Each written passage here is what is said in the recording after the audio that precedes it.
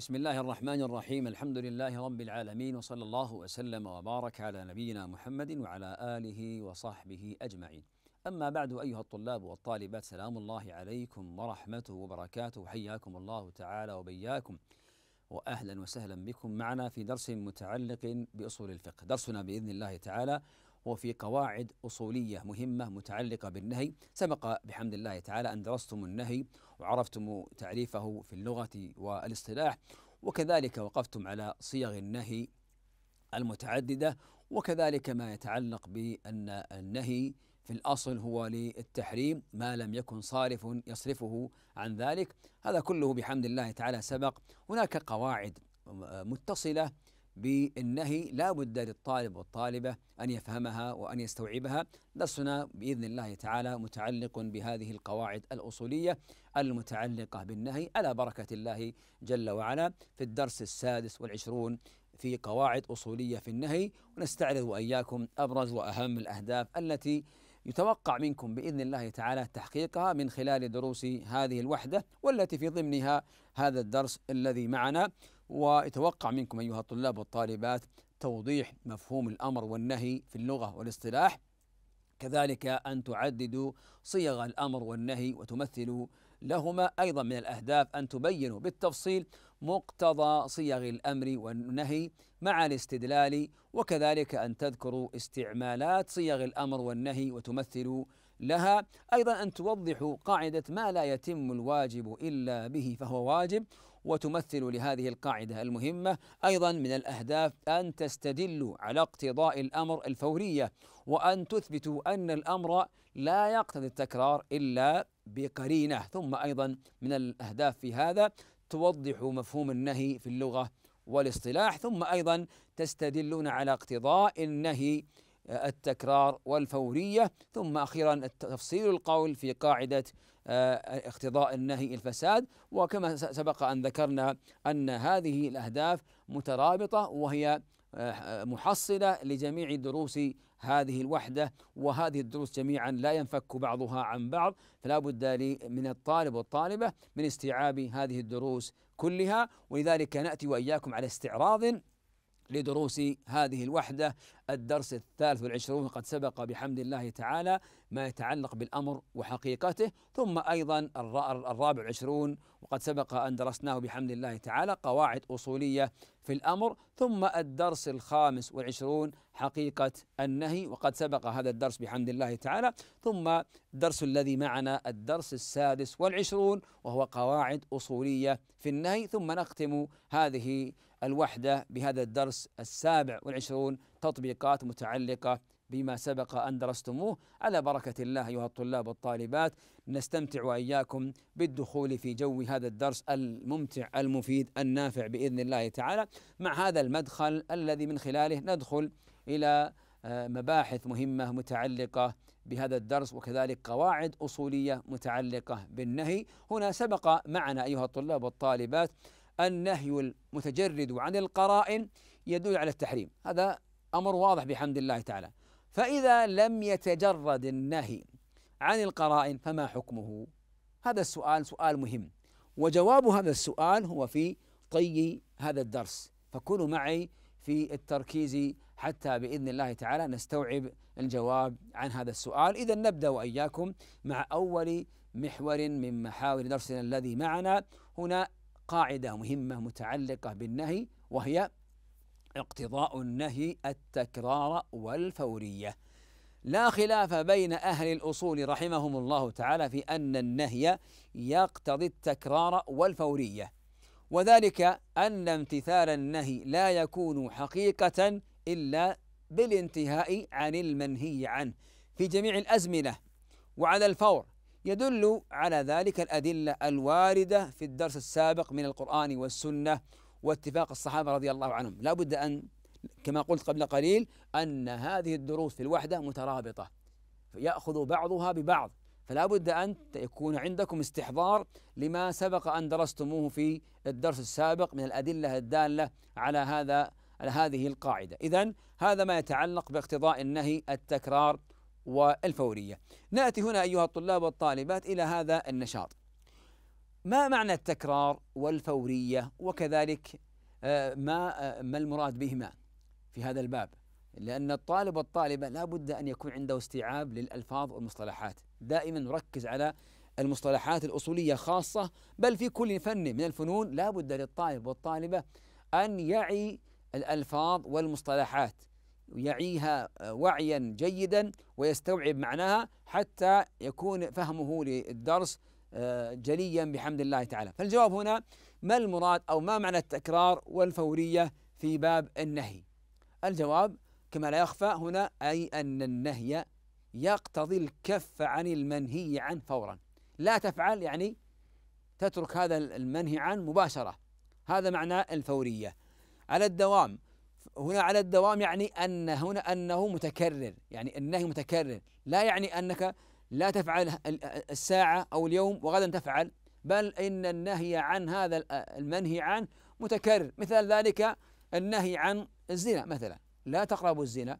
فهو يدل على أن أن أن الزنا منهي عنه ومحرم اليوم وغدا إلى قيام الساعة. إذا فهذا دل على على ماذا؟ على الدوام. في سائر عمر المسلم أنه لا يحل له أن يقترف هذا المحرم.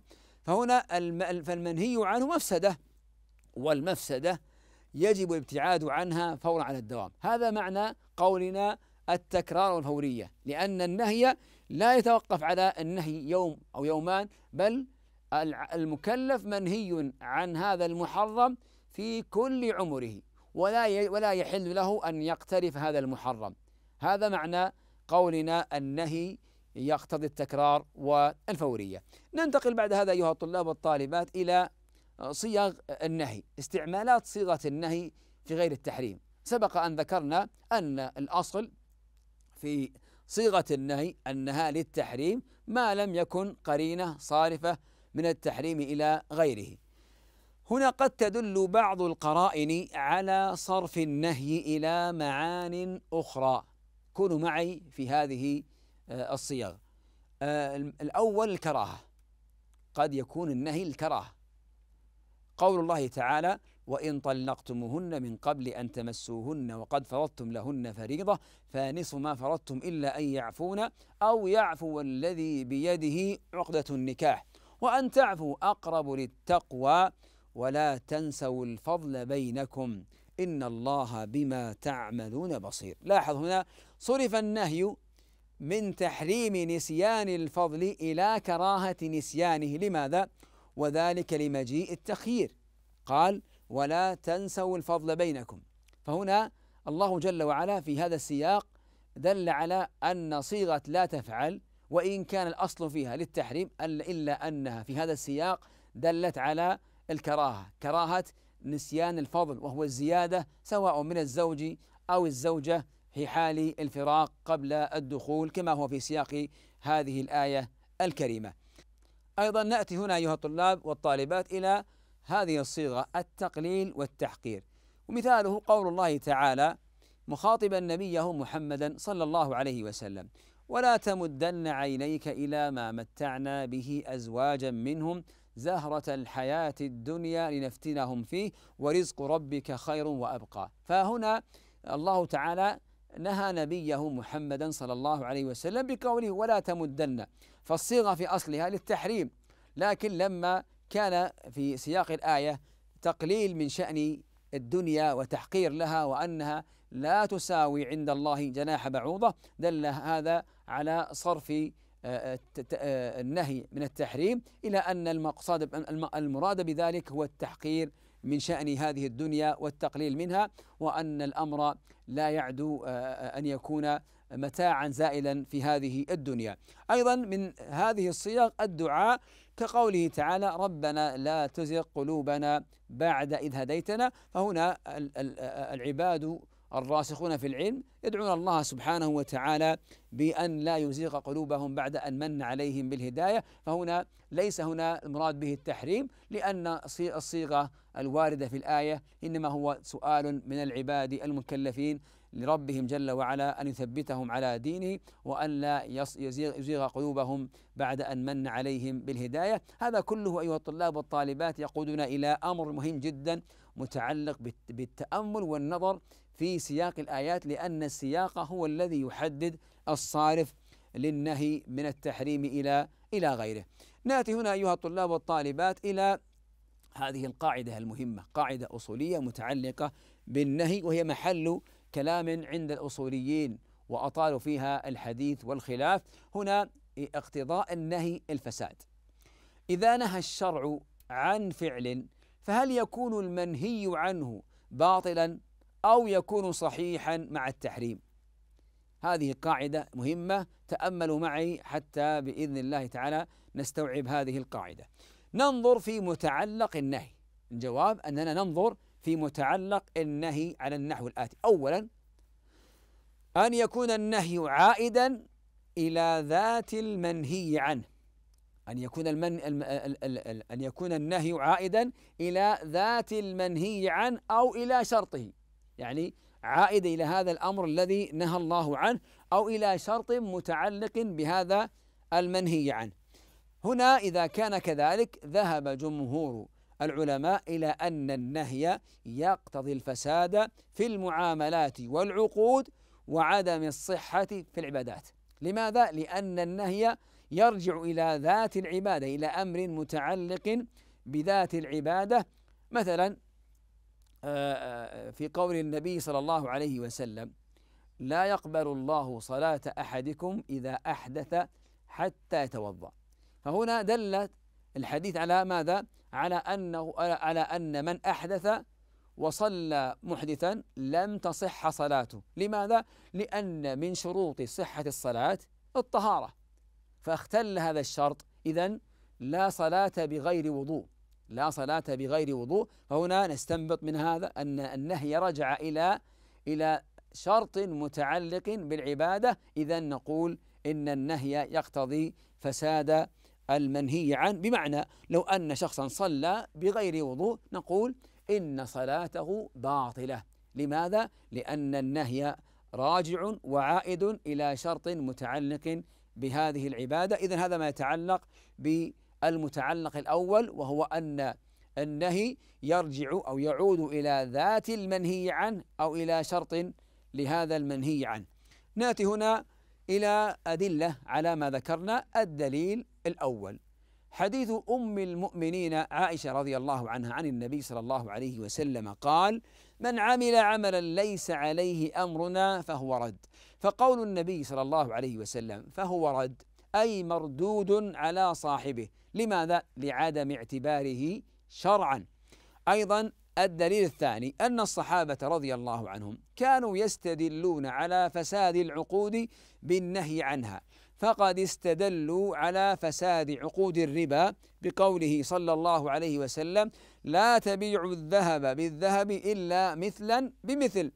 أي لا تبيع الذهب بالذهب إلا متماثلا في الوزن فمن باعه بأكثر وزنا أو أقل كان البيع فاسدا وهذا أمر شائع بين الصحابة رضي الله عنهم. أيضا احتج ابن عمر رضي الله عنهما على فساد نكاح المشركات ومثله إنكاح المشركين من المؤمنات بقوله تعالى ولا تنكحوا المشركات حتى يؤمن وهنا نهي عن نكاح المشركات فدل على فساد هذا العقد إذا وقع بهذه الصورة. أيضا من الأدلة الدالة على هذا على هذا الأمر قو تعليل نظري وعقلي يحتاج منكم إلى تأمل. هذا التعليل النظري العقلي أن أن نهي الشارع الحكيم عن الشيء يدل على تعلق المفسدة به أو بما يلازمه. لماذا؟ إذ أن الشارع حكيم. لا ينهى عن المصالح الراجحة أبدا. لا يمكن أن ينهى عن مصلحة الراجحة وإنما ينهى عن المفاسد المحضة أو الراجحة. وهذا أمر واضح بحمد الله تعالى وجلي وهو أن الشريعة تأتي النهي عن المفاسد وتأمر بما فيه مصلحة للمكلف. إذا هذه أدلة واضحة دالة على أن النهي إذا كان عائدا إلى ذات الأمر ذات المنهي عنه أو إلى شرطه فإنه يقتضي بطلان هذا المنهي عنه وفساده. نأتي أيها الطلاب والطالبات إلى أمثلة لهذا النوع. هنا المثال الأول النهي عن صوم يوم العيد. فلو نذر صومه لم يصح صومه ولم يجزئه عن نذره بل يأثم. لو أن شخصا صام يوم عيد الفطر أو يوم عيد الأضحى فهذا الفعل مع أنه عبادة في غير هذا اليوم إلا أن النبي صلى الله عليه وسلم نهى عن صوم يوم عن يوم عن صوم يومي العيدين. فهذا منهي عنه. فلو صامه حتى لو كان قد نذر صوم يوم النحر أو يوم عيد الفطر لا يصح. لماذا؟ لأن النهي عائد إلى ذات العبادة. لأن النهي عائد إلى تحريم صوم يوم العيدين أو يومي العيدين. أيضا مثال آخر النهي عن البيع بعد النداء الثاني لصلاة الجمعة في حق من تجب عليه الجمعة. فمن فعل ذلك فإن البيع باطل ولا تثبت به الملكية للمبيع. شخص يبيع مثلا مساويك عند باب المسجد وقد أذن المؤذن آه، للنداء الثاني يوم الجمعة. فهذا البيع باطل. لماذا؟ لأن الله تعالى نهى عن البيع بعد نداء الجمعة الثاني. فرجع الأمر إلى إلى ذات العبادة إلى إلى ذات العقد عفوا وهو البيع بعد النداء الثاني يوم الجمعة. فنقول إن البيع فاسد ولا يصح ولا يثبت للمشتري الملكية لهذا المبيع. أيضا مثال آخر الثالث هنا النهي عن بيع الحمل في بطن الدابة. لأن العلم بالمبيع شرط لصحة البيع. فإذا باع حملا كان البيع باطلا لا تنفذ أحكامه. شخص عنده مثلا آه، آه، ناقة وهي حامل فباع حملها فلا يعرف هذا الحمل هل هو أهو ذكر أو أنثى هل سيخرج حيا أم ميتا. فنقول بأن هذا العقد باطل لأنه راجع إلى هذا المنهي عنه فدل على أن العقد في هذا باطل ولا يصح. نأتي ايها الطلاب والطالبات أيضا إلى الأمر الآخر وهو ثانيا أن يكون النهي عائدا إلى أمر خارج لا يتعلق بذات المنهي عنه ولا بشرطه. فيكون الفعل صحيحا مع التحريم والإثم. هذا أمر آخر لابد أن تنتبهوا إليه. نأتي المثال الأول النهي عن لبس الرجل عمامه أو خاتم من ذهب. فلو صلى وهو يلبسهما لم تبطل صلاته. لماذا؟ لأن النهي لا يعود إلى ذات الصلاة ولا إلى شرطها.